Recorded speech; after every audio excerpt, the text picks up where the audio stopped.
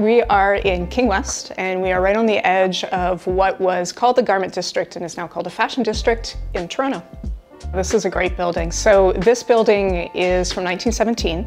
It is home to 54 hard loft units. This is one of very few original hard loft buildings in Toronto. So that's what's so exciting about it because there aren't a lot of them and basically you're buying a piece of history when you live here. You're looking at some amazing post and beam construction, original cedar slat ceilings, You've got 12 foot ceilings in some units. This unit has 11 foot ceilings. The ducting, some people may not like it. I think in this case it's fantastic.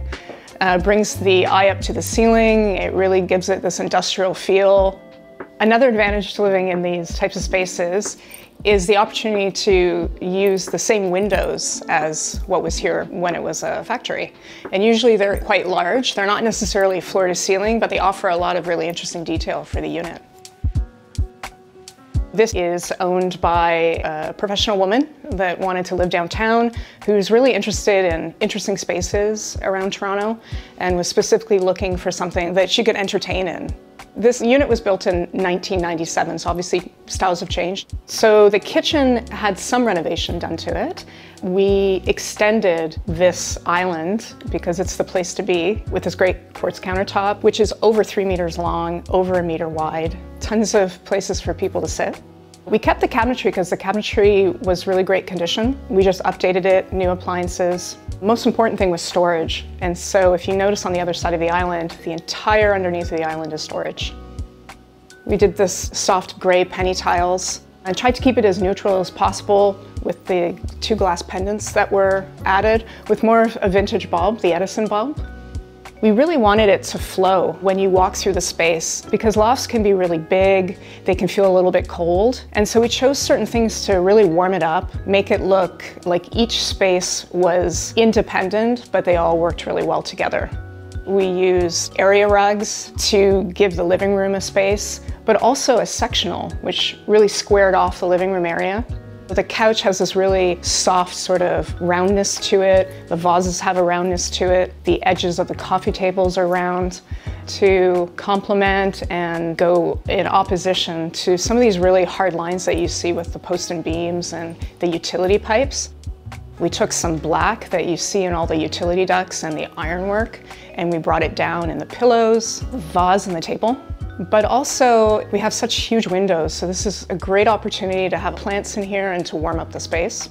For the dining room, we really wanted to put it close to one of the posts to kind of give it almost another room feeling, to give it an architectural statement kind of right beside where you eat. What we tried to do in the space was to keep it neutral and to also work off all of these really amazing textures and colors that are already part of this loft. The bedroom isn't the largest space. It does hold a queen size bed. It's open in a way to the rest of the unit, very similar in a lot of lofts, that the bedrooms aren't so separated. We really wanted, as the owner was walking through or when people were looking at the property, to show that it flowed all the way through. So we kept the same colors, the same textures, same scale, so that there's a unity as you walk through We've got a really great size closet. Again, we have this beautiful custom loft door with the old barnwood and the mirror to give a little bit of light reflection. The primary bath is really, really an interesting bathroom because you don't see them often. This one has what you call a wet room. And a wet room is an enclosed shower and tub area. The shower and the tub are separate, but they're all enclosed in one room. I think typically you saw this at times more in Europe and it has come to North America, but you don't see it often. And so I think it's a really unique feature here. The powder room is located close to the foyer of the unit. And the colors were brought in by using a really contemporary porcelain black and white tile on the floors. We put up shelving again from old barn wood, which is great for storage. The washer and dryer is also in there, so it serves partially as a utility room, and also trying to soften it a little bit using round mirrors. We also really wanted to, in this day and age, have an office, and because this is a one bedroom and it's such an open concept, the thought was where to put an office.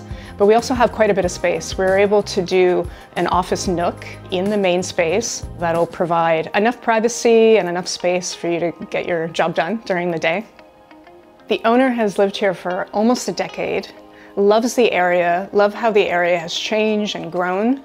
And to be able to own a place that also has such amazing history to it and such incredible details from the yellow brick to the post and beam.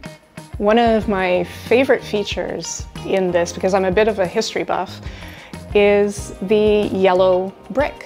What's really interesting about it is in the 1880s, a large quarry of clay was found in the Don Valley, so Toronto history right here. And everyone was fascinated by this color of this brick because you didn't see it. Every, you know, you always see more of a red or orange style brick in Toronto. So it became quite popular.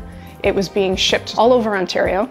And very luckily, this building was able to get some of this brick. And it's so warm and just different.